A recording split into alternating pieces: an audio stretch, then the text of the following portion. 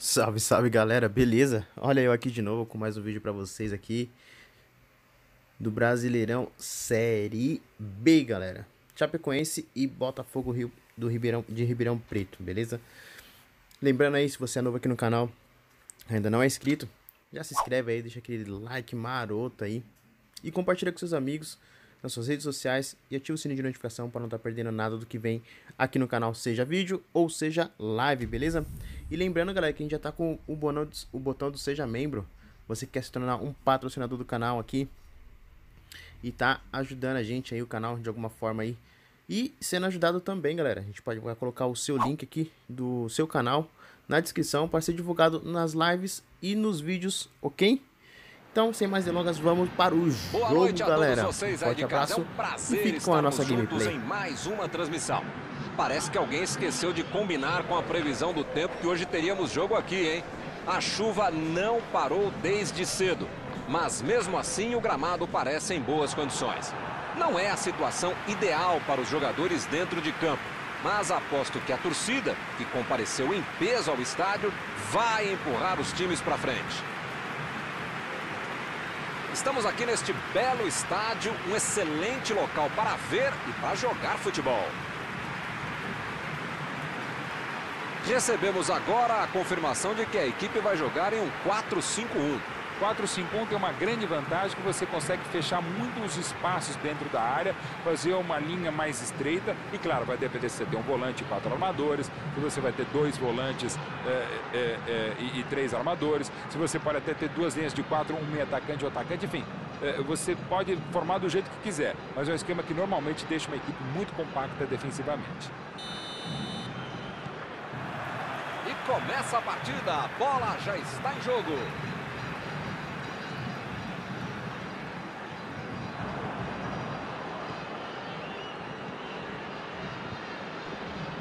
Lançou para o companheiro. Ele tem espaço para a jogada. Aí não, tem que jogar lá para frente. Está armado o contra-ataque. Lançamento por entre a defesa. Gilson.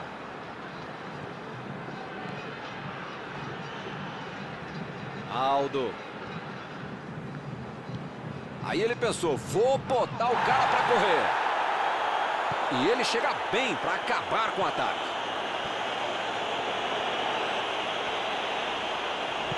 Vem o passe. Dominou a bola, pode cruzar. Saltou e tocou de cabeça. O cruzamento foi legal. A cabeçada que foi ruim.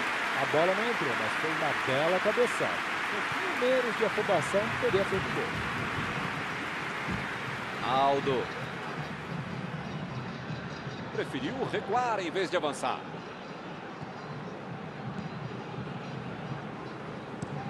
Metida de bola ali para o companheiro. Tentou o passe. Alan Ruschel. Jogou a bola lá para frente. Ele mandou a bola para frente. Bola enfiada pelo meio da defesa. Se você acabou de ligar a TV, não esquente, não perdeu nada. Aldo meteu um bico nela, lá pra frente.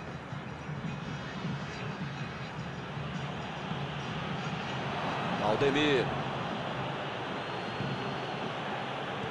O cara ficou um bom tempo tentando encontrar algum espaço, mas acabou perdendo a bola.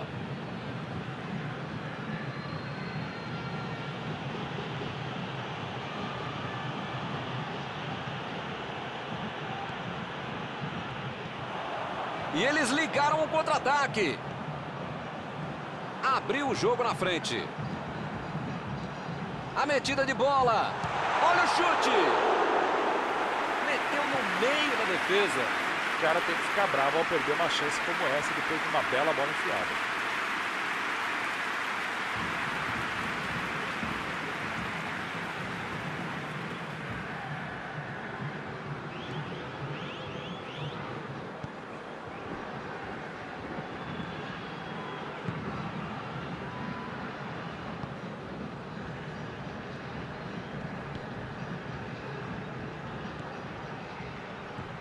Desarmou o adversário e saiu com ela. Aldo. Bola enfiada entre a marcação.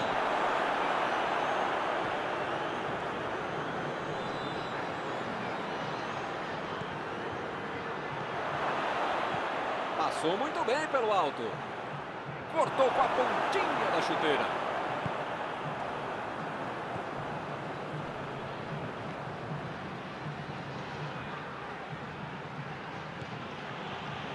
Aldo.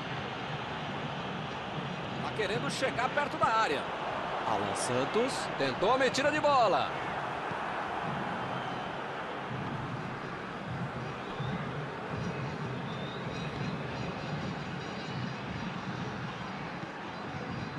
Partiram da defesa para o ataque.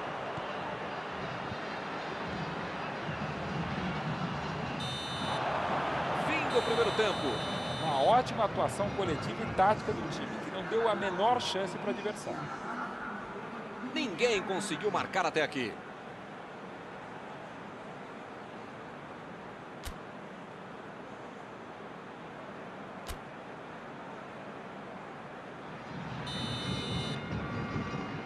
Vamos para os 45 minutos finais.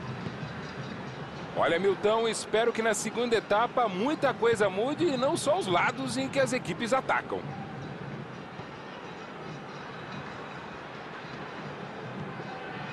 Aldo.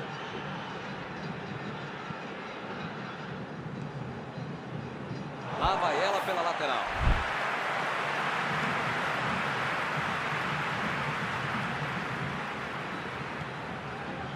Alan Santos. Alan Ruschel. Alan Ruschel vem pela esquerda. Abriu pela esquerda. Procurou alguém ali na frente. Olha lá, ela está indo para o meio da área. Ele chega para fazer o corte.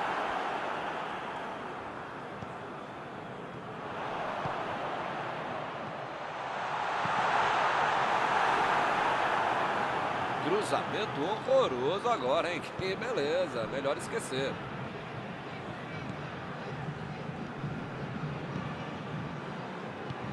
Metida de bola por cima. Arrancou pela esquerda. Mandou ali na marca do pênalti.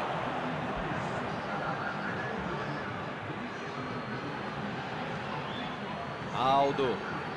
Chegou junto e conseguiu roubar a bola. Vai tentar a batida. Em termos de ataque, não tem muito o que dizer, né, Maurão? Joguinho amarrado esse, hein? É sempre um prazer acompanhar jogo com você, Milton, ainda mais esse. Mas é uma pena que o cara preparou dancinha, fez tudo bonitinho, ensaiou, mas não vai ter gol para ter essa dancinha, né? Opa, que beleza!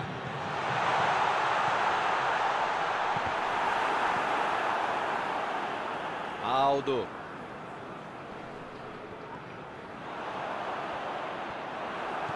Decidiu jogar pela ponta. Arremesso lateral.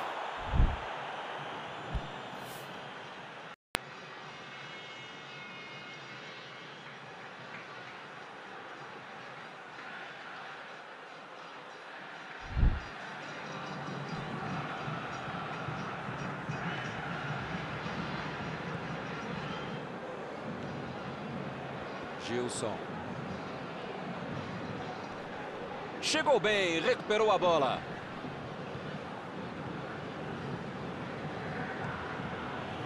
Gilson.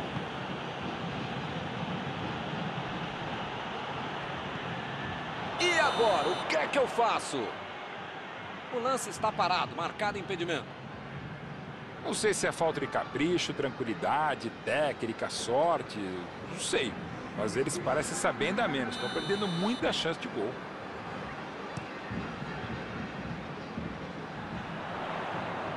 Ele estava esperto no lance, hein?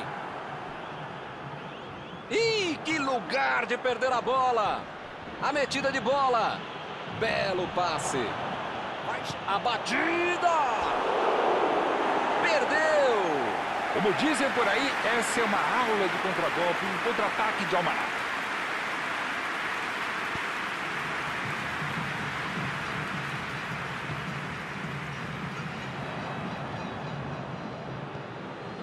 O jogo tá acabando e, pelo visto, não vai sair nenhum golzinho hoje, não.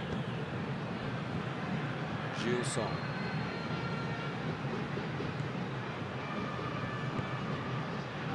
Chegou na marcação e recuperou a bola. Ou é agora ou é nunca. Tem que ir com tudo pra frente. Chutão pra frente. Valdemir.